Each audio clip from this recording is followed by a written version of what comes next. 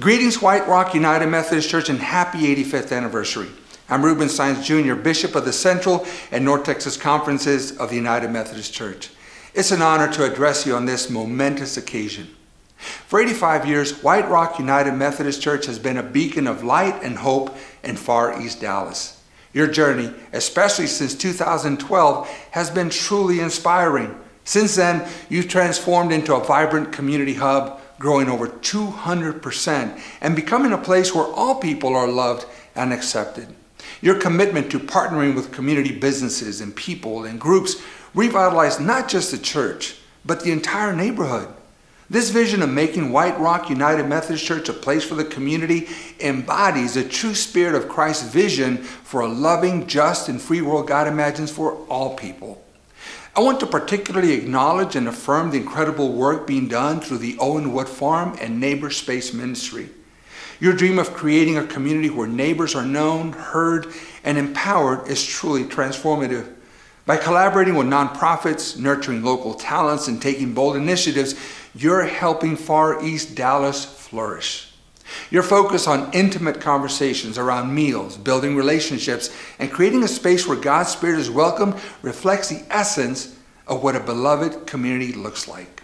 Your commitment to forming a faith community grounded in justice, equality, and opportunity for all reflects a desire to seek and live into God's vision for peaceful and prosperous human relationships. So, as you celebrate this milestone, give God thanks and remember that your church's history is rich with stories of faith, hope, and love. Countless lives have been touched through your worship, outreach, and inclusive spirit.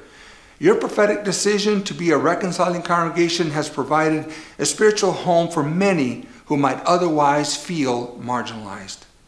We give thanks for God's faithfulness and grace that have sustained this congregation's ministry for 85 years. Christ's love and guidance have been evident through the dedication and vision of all who have served here. May the Lord continue to bless and empower White Rock United Methodist Church as you follow his leading in the years to come.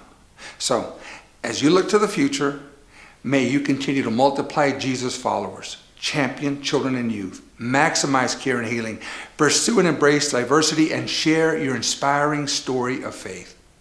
The future is indeed bright for White Rock United Methodist Church. May God's face continue to shine upon you, and may his grace and blessings be with you always.